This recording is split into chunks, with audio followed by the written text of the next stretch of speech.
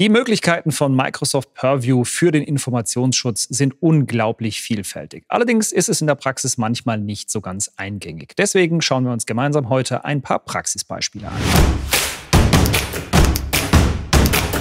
Herzlich willkommen zu Cloud Ping Pong Folge 77, mal wieder im Zeichen von Microsoft Purview. Und da schauen wir uns mit unserem Purview-Guru Tom Wechsler ein paar Praxisbeispiele an. Servus, Tom. Hallo Patrick, hallo geschätzte Cloud Ping Pong Freundinnen und Freunde. Uh, Patrick, Microsoft Purview, meine Haare, meine Nackenhaare, alle irgendwelche Haare, die stehen zu Berge. Äh, Data Loss Prevention, da, ja, siehst du, ich, ich, ich unterdrücke das Ganze, oder? Ich möchte mich da gar nicht irgendwie veräußern.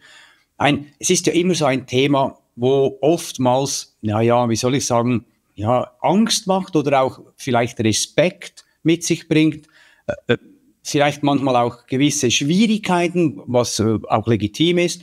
Ähm, muss das sein? Was sagst du, Patrick? Ich glaube nicht wirklich, oder? Naja, muss das sein. Also es kommt ja immer so ein bisschen drauf an, womit man denn so Umgang hat, datentechnisch. Und jetzt haben wir nicht alle, und das war ja in der letzten Folge auch schon Thema, mit Kreditkartennummern zu tun oder sonst irgendwas. Wir sind nicht alle Zahlungsdienstleister oder müssen uns PCI-compliant zertifizieren lassen.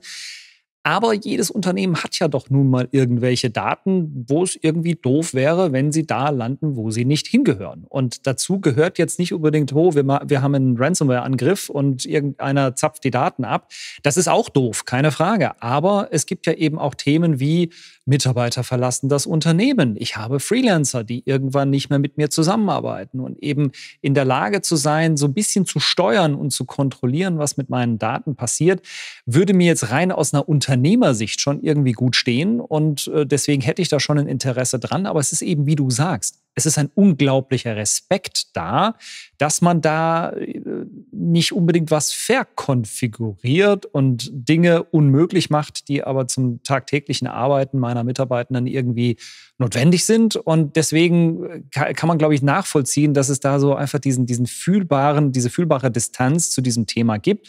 Und wenn man dann eben noch mit diesen Akronymen DLP, Data Loss Prevention und dem ganzen Kram so um sich wirft, wird es halt nicht besser. Ja, und deswegen war es uns, glaube ich, wichtig, heute mit dieser Folge das ein oder andere, ja, einfach griffige Praxisbeispiel zu bringen, die vielleicht so ein bisschen Annäherungsmöglichkeiten bieten, ähm, das im eigenen Hause umzusetzen. Diese Annäherungsmöglichkeiten, das finde ich so ein, ein, toller Hinweis, weil äh, eben Microsoft Purview als solches ähm, generiert schon ein, eine Art gewisse Unmut oder eben so äh, zu, vielleicht zu hoher Respekt und so. Aber ich habe das oder ich schaue mir das immer von einer ganz anderen Seite an. Und zwar, ich möchte, dass zum Beispiel gewisse automatische, sage jetzt mal, automatische Prozesse, nein, ich möchte es einfach erklären. Stellen Sie sich vor, Sie haben ein Projekt. Sie wissen ganz genau, das Projekt geht ein Jahr und die Projektdaten müssen für weitere sechs Jahre aufbewahrt werden. Und Sie möchten nach sieben Jahren ganz einfach, dass diese Daten gelöscht werden. Wäre doch super, wenn Sie sich da um nichts kümmern müssen. Und genau das ist mein Ansatz. Ich möchte, dass diese Daten markiert werden, dass ein Aufbewahrungsbezeichner hinzugefügt wird, der ganz klar definiert, die Daten werden nach Erstellungsdatum, nach sieben Jahren entfernt und ich muss es dann nur noch prüfen in sieben Jahren, ähm, ja, wenn sie dann noch für diese Organisation arbeiten oder noch auf der Welt sind oder wie auch oder immer. Purview noch Purview heißt.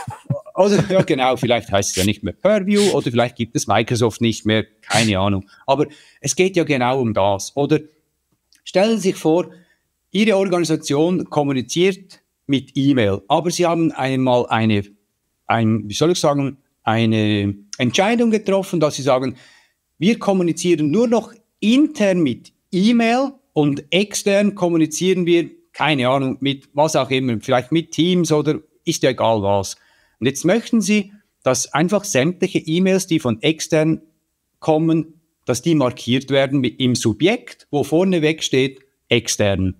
Ja, ich denke, es, es hilft uns einfach, ein, ein, ein, Produkt einzusetzen, was vielleicht auch ein, ein Stück weit Coaching-Möglichkeit bietet. Wir haben ja die, die Mail-Tipps auch im, im mhm. Bereich der, der Klassifizierer respektive der Labels äh, die, die letzte Folge mal angesprochen, dass man halt einfach Möglichkeiten und Hilfsmittel bereitstellt, damit Dinge, die wir uns vorgenommen haben, so und so zu tun. Ja, ob das jetzt äh, der, der externen Kennzeichner ist, den wir ja auch beispielsweise dafür einsetzen könnten, zu sagen, naja, wenn jetzt da was Absender, Name des Geschäftsführers, aber es steht extern davor, dann fühlte ich mich vielleicht auch dazu hingerissen, mal ein bisschen genauer hinzugucken, ob das nicht vielleicht auch eine Phishing-Attacke ist, die im Namen meines äh, fingierten Geschäftsführers von extern nun vorgaukelt, äh, dass ich vielleicht irgendeine hochdotierte Überweisung tätigen sollte.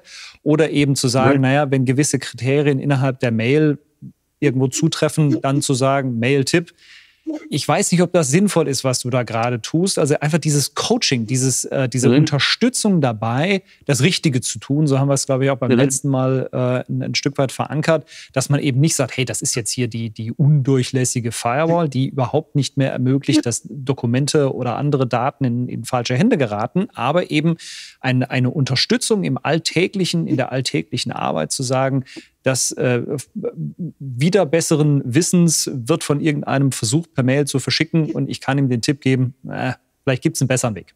Genau, ganz genau. Ich finde ein interessanter Ansatz, den du erwähnt hast, das Coaching. Microsoft Purview ist extrem darauf angewiesen, dass Personen gecoacht werden. Das heißt, dass den Personen gezeigt wird, wenn man das Ganze nicht automatisiert anwendet, wie eine einzelne Person mit diesen Funktionen umgehen kann, selber Dokumente zu markieren, selber einen Bezeichner hinzuzufügen, um Daten zu schützen. Und das ist ganz wichtig, eben wie du das gesagt hast, Coaching, dass man die Personen abholen kann. Es geht nicht darum, die Personen zu nötigen oder irgendwie einzuschränken oder, oder äh, wie soll ich sagen, ähm, mir fällt das, Deu äh, das hochdeutsche Wort nicht ein, ähm, indem wir sie, wir wollen sie nicht ähm, belästigen, sondern wir wollen ihnen helfen. Es soll unterstützend sein. Aber weißt du, Patrick, ich glaube, wir müssen da mal etwas zeigen, sonst ähm, kommt, das, kommt die Wirkung, glaube ich, nicht irgendwie so, so richtig rüber. Was denkst du? Na, dann zeig mal her. Herzlich willkommen im Microsoft, nein, es ist ja keine Verkaufsshow, sondern wir sind jetzt einfach da im Microsoft Purview Portal und zwar in der neuen Version. Und wir nehmen wir mal ein Beispiel und zwar, sagen wir mal, das Thema Datenverlust, eben Data Loss Prevention. Aber jetzt nicht einfach Data Loss Prevention, wie man das immer wieder liest, hört, sondern das, was wir angesprochen haben, eben diese Mails vielleicht einmal zu bezeichnen, die von extern kommen. Und da verwenden Sie ganz einfach eine Richtlinie. Eine Richtlinie hier in Microsoft Purview, die Sie erstellen und dann verwenden. Und Sie sehen, ich habe hier verschiedene Policies angelegt, zum Beispiel eine, die heißt interne Dokumente oder da geht es jetzt halt eben um diese Kreditkarteninformationen und Sie können diese Policy bearbeiten. Hier zuerst einmal die Übersicht, das, das sparen wir uns. Ich wähle jetzt direkt aus Richtlinie bearbeiten. Und ich habe jetzt zum Beispiel hier in dieser Richtlinie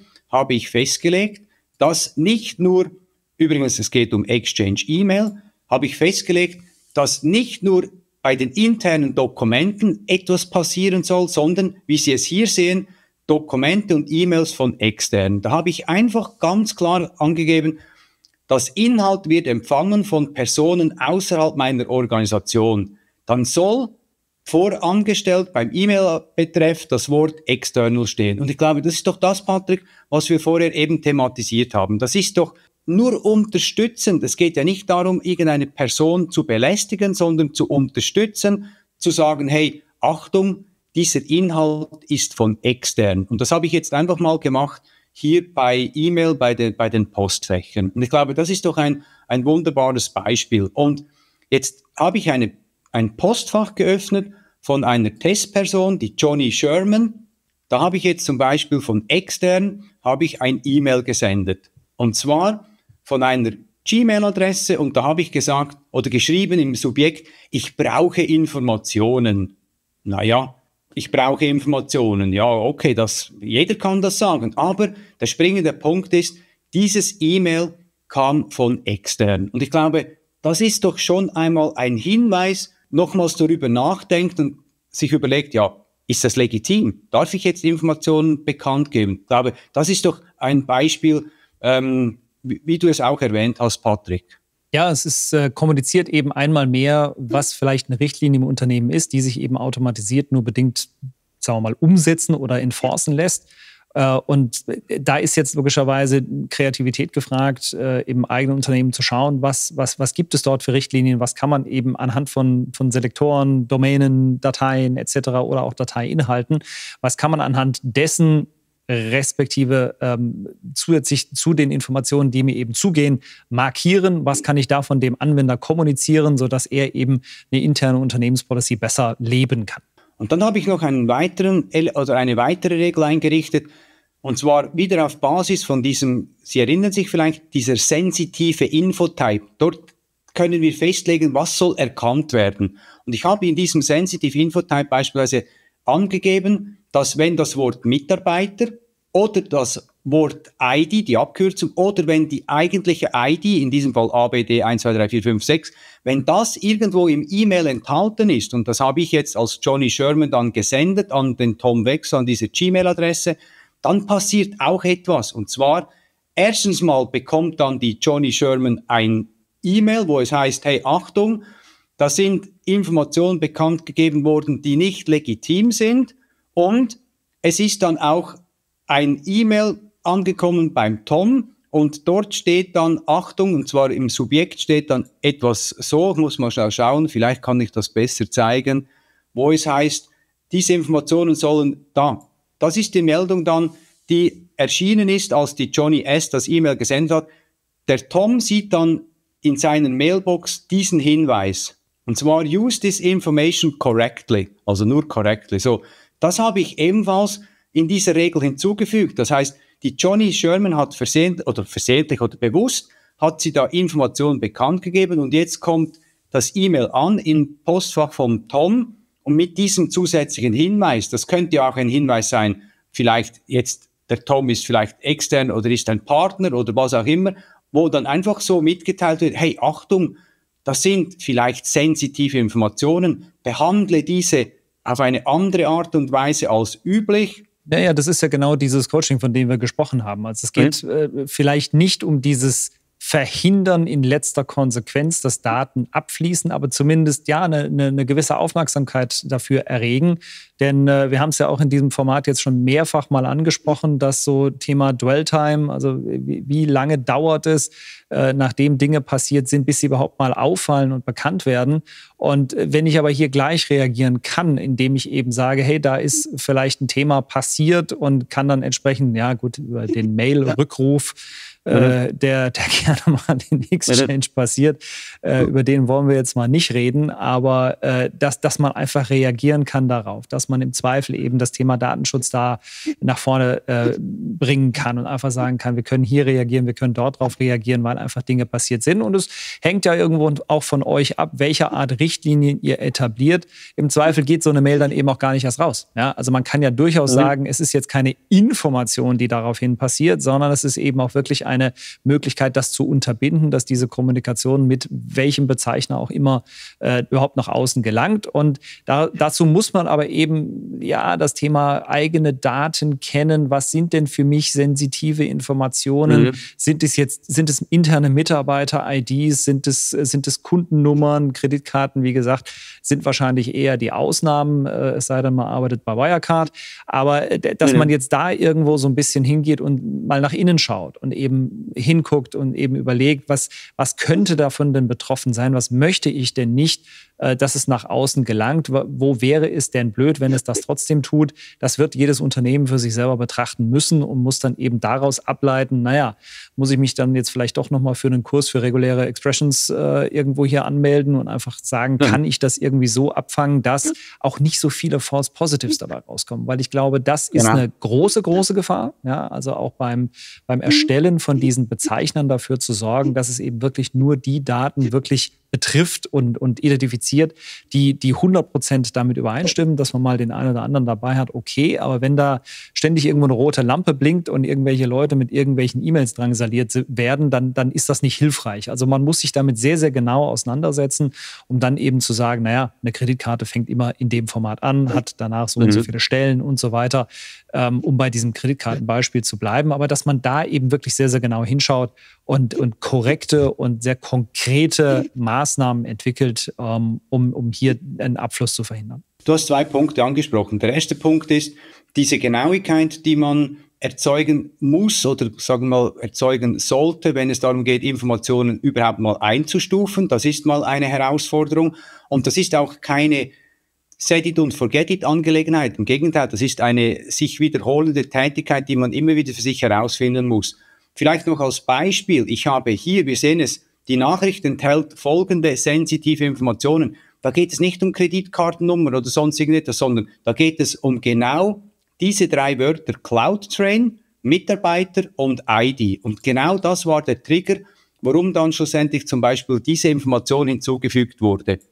Also eben, muss nicht immer nur Kreditkartennummer sein. Der andere Punkt ist eben das Coaching, was du angesprochen hast von den Personen. Auch da, ich finde das super hilfreich, weil wenn die Personen mit ins Boot geholt werden und man sie wirklich gut informiert und ihnen erklärt, was das Ziel ist, dann hat man unglaublich viele Möglichkeiten. Zum Beispiel stellen Sie sich eine kleine Organisation vor und eine Person ist, ist verantwortlich für die Rechnungen. Sie legt einfach alle Rechnungen in einem Ordner ab. Und der Chef sagt vielleicht, hey, es wäre einfach toll, wenn diese Rechnungen für gewisse Zeit immer zur Verfügung stehen, dass diese nicht versehentlich gelöscht werden können. Ah, ist doch super.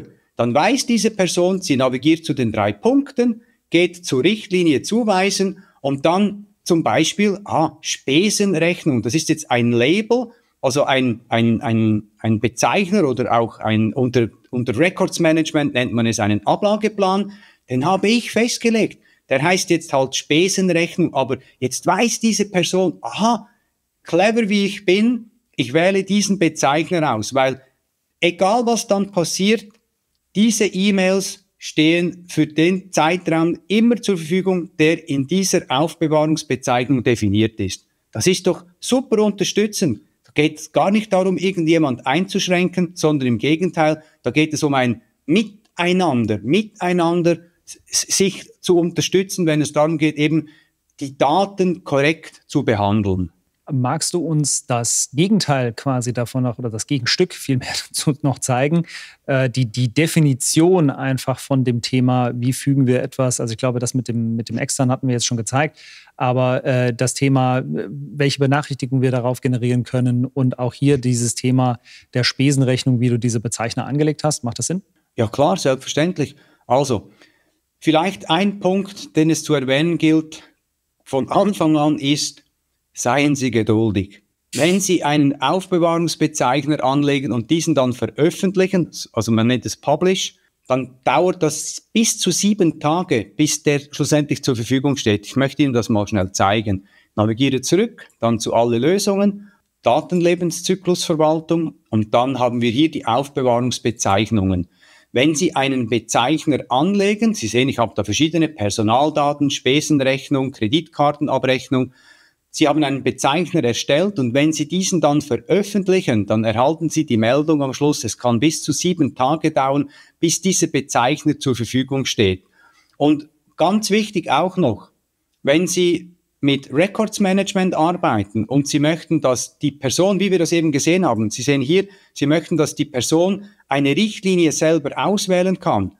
Die Postfachgröße muss mindestens 10 Megabyte enthalten, damit Sie diese Aufbewahrungsbezeichnungen überhaupt auswählen können. Ich weiß, das hört sich jetzt blöd an oder trivial, aber ich arbeite hier in einer Testumgebung und ich hatte, bis ich dieses E-Mail hier gesendet habe, ein PDF in 10 Megabyte Größe, niemals die Möglichkeit, irgendwelche Aufbewahrungsbezeichnungen auszuwählen. Und ich dachte mir schon, Himmel, Herrgott, was ist denn los? Also, das ist vielleicht nicht unbedingt äh, relevant für, für produktive Umgebung, aber ich wollte einfach diesen Hinweis noch geben. So, kommen wir zurück. Also, Sie erstellen einen Bezeichner und dann müssen Sie diesen Bezeichner veröffentlichen, weil der Bezeichner als solches, wenn Sie den erstellt haben, Sie sehen hier zum Beispiel Mitarbeiterverträge, Aufbewahrungsdauer zehn Jahre. Der Bezeichner als solches macht nichts. Er macht erst dann etwas, wenn Sie ihn veröffentlichen, wenn Sie ihn zur Verfügung stellen, dann können Sie mit diesem arbeiten. Und dann können Sie mit Richtlinien arbeiten, Aufbewahrungsrichtlinien oder eben auch Bezeichnungsrichtlinien. Und jetzt möchte ich Ihnen etwas schnell zeigen und das finde ich persönlich echt cool. Es ist ja toll, wenn Mitarbeiter mithelfen, weil dann sind sie im Boot, sie sind im Spiel, sie helfen mit, wunderbar. Was aber echt cool ist, Bezeichnung automatisch anwenden. Und jetzt, ich möchte Ihnen ein Beispiel zeigen. Ich habe hier, okay, es ist wieder Kreditkartenabrechnung, aber der Einfachheit geschuldet. Ich habe diesen Bezeichner, habe ich automatisch veröffentlicht. Das heißt, je nach Definition in diesem Bezeichner werden dann Dokumente, zum Beispiel in OneDrive oder in SharePoint, das habe ich so angegeben, automatisch gekennzeichnet und dann eben automatisch für eine gewisse Zeit aufbewahrt. Das will ich Ihnen ebenfalls schnell zeigen, hier in OneDrive. Sehen Sie, ich habe da ein Dokument. Dieses Dokument hat viele Kreditkartennummern. Also Sie sehen hier diese Kreditkartennummern und wir sehen auch schon den Richtlinientipp. Da kommt schon mal der Hinweis, Achtung, da gibt es ähm, Items, die mit einer Policy ähm, in Konflikt stehen. Jetzt navigiere ich zu den drei Punkten, dann wähle ich die Details aus und da erhalten wir wieder die Information. Und schauen Sie mal, sehen Sie, Kreditkartenabrechnung. Diese Bezeichnung wurde automatisch angewendet. Ich musste da nichts manuell machen. Und das sind doch auch so Vorteile, die man sich zunutze machen kann. Stellen Sie sich eben das Beispiel mit Projektdaten vor. Projektdaten, die einfach automatisch gekennzeichnet werden, für eine gewisse Zeitdauer nicht gelöscht werden können und am Ende der Ablauf oder am Ende der Frist werden dann die Dokumente beispielsweise automatisch entfernt oder man kann sie einer Genehmigung zur Verfügung stellen. Das heißt, eine Person muss genehmigen, dass dann die Daten gelöscht werden dürfen. Ich habe jetzt gerade noch überlegt, ob wir äh, als Beispiel irgendwie auch noch den, ja, einen, einen punktuellen Litigation Hold im, im Rahmen eines, eines Rechtsstreites oder sowas äh, als gutes Beispiel hätten. Aber da weiß ja keiner so wirklich, wie lange die so dauern. Äh, von daher kann man, glaube ich, im Vorhinein nicht wirklich festlegen, ob das in einem, zwei oder drei Jahren irgendwie dann gelöscht werden kann. Äh, aber natürlich wäre auch das eine, eine, Maßnahme, anstatt jetzt ein komplettes Postfach unter Litigation Hold zu stellen, äh, da eben zu sagen, ich suche mir die, die relevante Korrespondenz und, mhm. und hau dem Ding ein Label um die Ohren, äh, wo zumindest irgendwas dranhängt. Ja? Und dann eben vielleicht eine autorisierte Person das auch wieder entfernen kann, ohne dass genau. dann automatisches Löschen irgendwo passiert. Richtig. Also dein Hinweis finde ich super. Warum ein Postfach unter Litigation Hold stellen? Weil dann ist das komplette Postfach davon betroffen. Aber stellen Sie sich vor, es gibt einen Fall oder einen Verdacht. Ein Verdacht, dass gewisse Informationseinheiten vielleicht trotzdem die Organisation verlassen haben, wo nicht hätte sein dürfen. Da gibt es die Möglichkeit, mit einem sogenannten E-Discovery-Fall zu arbeiten. E-Discovery bedeutet, Sie können Content suchen. Das heißt, Sie können einen Fall eröffnen und ich habe da vielleicht einen Verdacht, dass in gewissen Postfächern Informationen oder von Postfächern aus Informationen versendet wurden und ich möchte nicht das komplette Postfach blockieren, sondern ich möchte einfach wissen, wo sind diese Inhalte oder wohin gingen diese Inhalte? Weil es gibt hier einen bestehenden Fall. Ich denke, das ist das, was du gemeint hast, oder Patrick? Nicht unbedingt komplett alles blockieren, sondern vielleicht einfach den Fokus setzen auf gewisse Inhalte. Ja, also einerseits ähm, ist ja dein Beispiel jetzt gewesen, es haben Informationen unerlaubterweise das Unternehmen verlassen, aber ein Rechtsstreit ist ja nicht immer nur Data Loss, sondern das kann ja eben sein, hey, da sind Korrespondenzen ganz normal in, in, einer, in einer Art Geschäftsaufbau äh, zustande gekommen und äh, die sind einfach für einen Rechtsfall relevant und ich möchte nicht, dass die aus Versehen gelöscht werden können. Klar, in, in einer idealen Welt hätten wir jetzt auch noch irgendwo ein, ein Mailarchiv, worauf der Anwender keinen löschenden Zugriff hat.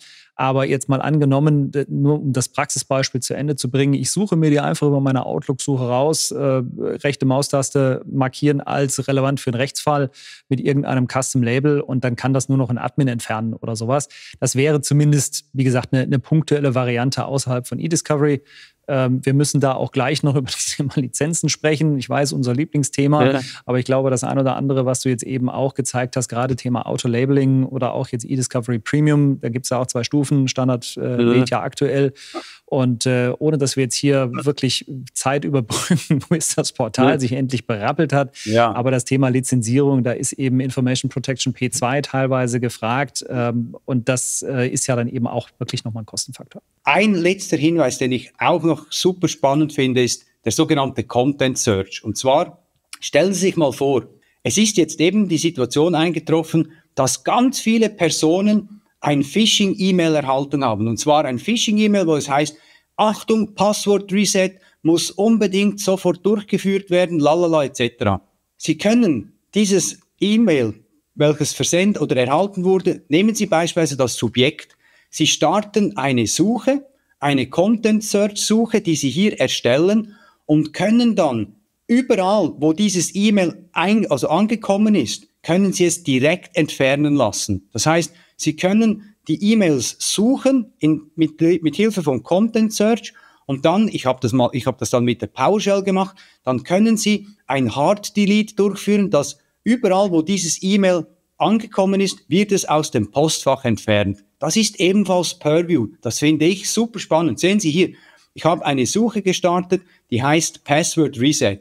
Und dann wird mir angezeigt, wie viele Elemente wurden gefunden. Und dann können Sie mit einer Aktion diese Phishing-E-Mails tenantübergreifend entfernen. Ist, super, echt coole Sache ist definitiv was, auch wenn ich jetzt hier irgendwie gewillt bin, äh, hier ist, nimmt doch bitte meine Kreditkarte und bucht doch irgendwie noch ein paar Azure-Ressourcen auf dieses Portal. Das ist ja äh, ein, ein minimal unerträglich gerade. Ähm, ja. Natürlich gibt es hier auch eine Notwendigkeit zu sagen, hey, eigentlich Thema Datenschutz, Vier-Augen-Prinzip, irgendwas in der Richtung äh, müsste man eigentlich noch anwenden, um jetzt hier nicht zu sagen, wir suchen über die Inhaltssuche, äh, wann, wann, die letzten Urlaubsfotos da irgendwie über den Äther gegangen sind. Also das, das birgt natürlich auch eine gewisse Transparenz, die gelebt werden will und die auch im Klar, Zweifel ja. eben gewisse Maßnahmen braucht. Absolut, ja, das ist natürlich ganz klar. Also da, da, das macht man nicht einfach so, weil man mal Zeit hat, sondern das muss dann schon strukturiert sein. Ja, leider, das Portal, eben, ich habe diese Erfahrung wirklich gemacht, auch letztes Mal, ich musste da mich selber in Geduld üben, das ist manchmal wirklich oft etwas mühsam, weil sich da einfach die Informationen nicht aktualisieren. Auch hier, jetzt sehen wir wenigstens da die Zusammenfassung. Sehen Sie, ich habe nach diesem Inhalt gesucht. Der Tom Wechsler, dieser kleine Schlingel, hat da E-Mails versendet mit dem Subjekt ähm, Password Reset. Das habe ich mir zunutze gemacht. Ich habe einen Content Search gestartet. Diese Übereinstimmung, also beziehungsweise diese Suchbedingung gab über eine Übereinstimmung über vier Elemente und ich konnte dann eben diese Elemente entfernen, gesamt tenantübergreifend und das ist schon, schon echt eine coole Sache. Das, das Thema, Thema Datenschutz, äh, Tom, noch kurz ja. aufzugreifen, wäre ja vielleicht auch anderweitig, äh, wenn jetzt jemand, keine Ahnung, eine E-Mail mit einer offenen An- Liste, Empfängerliste verschickt hätte, anstatt das Ganze in CC zu tun, könnte man ja damit auch tenantübergreifend irgendwie das ganze Ding irgendwo rauslöschen, um personenbezogene Daten, die fälschlicherweise mhm. im eigenen Tenant verteilt wurden, einfach auch da wieder aus den Postfächern zu kratzen. Also ich denke, Praxisbeispiele gibt es eben, die man ja unter Berücksichtigung der jeweiligen geltenden Gesetze einfach umsetzen muss. Du hast auch schon Lizenzen noch angesprochen und ich möchte noch einen Punkt ansprechen, eben auch wegen Compliance oder eben Datenschutz ganz wichtig, ein Content Search oder zum Beispiel mit Records Management zu arbeiten, diese Ablagepläne, also auch die Aufbewahrungsbezeichner oder ein E-Discovery, ein Fall zu erstellen, das können Sie nicht einfach so. Das heißt, auch wenn Sie globaler Admin sind, das geht nicht. Sie können keinen Content Search durchführen. Das heißt, Sie brauchen die notwendigen Berechtigungen. Um einen E-Discovery-Fall zu bearbeiten, brauchen Sie mindestens das, die Rolle E-Discovery Manager. Wenn Sie alle Fälle bearbeiten möchten, müssen Sie E-Discovery Administrator sein. Wenn Sie ein Content Search durchführen wollen, brauchen Sie zusätzlich noch die Rolle Records Management. Also da ist schon auch äh, vorgängige Arbeit, ähm, die geleistet werden muss, eben auch in Bezug auf Datenschutz, dass da nicht irgendjemand weil er globaler Admin ist, da irgendwelche Postfächer untersuchen kann. Also da braucht es schon äh, die notwendigen Berechtigungen dazu. Sehr schön. Und mein Hinweis mit äh, Information Protection P2 war ja, glaube ich, oder eben E5, äh, die, die All-in-One-Lizenz. Äh, ja. Damit sind wir, glaube ich, auf der sicheren Seite. Genau, absolut, ja. Ich hoffe, Patrick, wir konnten da vielleicht etwas. oh, jetzt nein, bevor ich Licht ins Dunkle sage, schauen Sie mal, jetzt kommt doch tatsächlich noch dieser E-Discovery-Fall zum Vorschein. Verdacht Postfach, da ist nichts anderes als der Container, das ist der E-Discovery-Container, dann geht es um die Suche. Hier habe ich die Suche gestartet und zwar eben nach Informationen, zum Beispiel Mitarbeiter oder Mitarbeiter-ID. Das definieren Sie in einer Suche. Dann können Sie die Aufbewahrung bestimmen für die Elemente, die gefunden wurden und aber auch, Sie können dann das Resultat exportieren. Sie können beispielsweise eine PSD-Datei generieren, beispielsweise pro Postfach einen Export generieren oder alles zusammen komplett in einer PSD-Datei und dann kann die Person, die berechtigt ist, die auch wieder, da müssen sie Datenschutz einhalten etc., kann dann diese PSD-Datei in seinem Outlook anbinden und dann die entsprechenden Inhalte untersuchen. Ich glaube, das ist das, was man, was ich noch schnell sagen wollte an dieser Stelle. Aber auch hier, die Informationen sind wieder sehr, sehr langsam. Naja. Aber. Wusa. Ja. Ich hoffe, Sie haben trotzdem den, den Eindruck erhalten, um, um was es da geht beim eDiscovery bei diesem Fall. Sehr schön. Wir hoffen natürlich, dass euch diese Fälle äh, oder dass ihr diese Fälle nie braucht, denn das sind ja in der Regel auch mit äh, unangenehmen Dingen verbunden. Trotzdem, glaube ich, ist es wichtig zu wissen, dass sie da sind, wenn man sie denn mal braucht und wie man das Ganze entsprechend einrichtet, hat uns ja der Tom dankenswerterweise gezeigt. Hat mir riesig Spaß gemacht und ähm, hoffe, ich konnte da einige Punkte oder wir konnten da mit einigen Punkten etwas Licht ins Dunkle bringen. Dann hoffen wir, dass äh, Microsoft auch noch eine Kreditkarte findet, mit denen das Portal vielleicht mit ein paar, ein paar, mehr Ressourcen ausgestattet werden kann. Das wäre doch sehr wünschenswert. Weil ja doch die Lizenzkosten nicht ganz unerheblich sind, äh, möchte man doch auch in der Lage sein, das Ganze zu benutzen. Ansonsten das Thema äh, Bezeichner etc., glaube ich, performt ein bisschen besser. Aber äh, da ist, glaube ich, die Vorarbeit viel, viel wichtiger. Das haben wir besprochen und gezeigt, dass man sich da einfach mit den eigenen Daten auseinandersetzt. Haben wir auch eine Folge zu gemacht, verlinken wir nochmal in der Beschreibung. Gut, dann danke nochmal, lieber Tom. Wir sehen uns nächste Woche, wenn ihr mögt. Sehr gerne und bis zum nächsten Mal. Tschüss. Tschüss.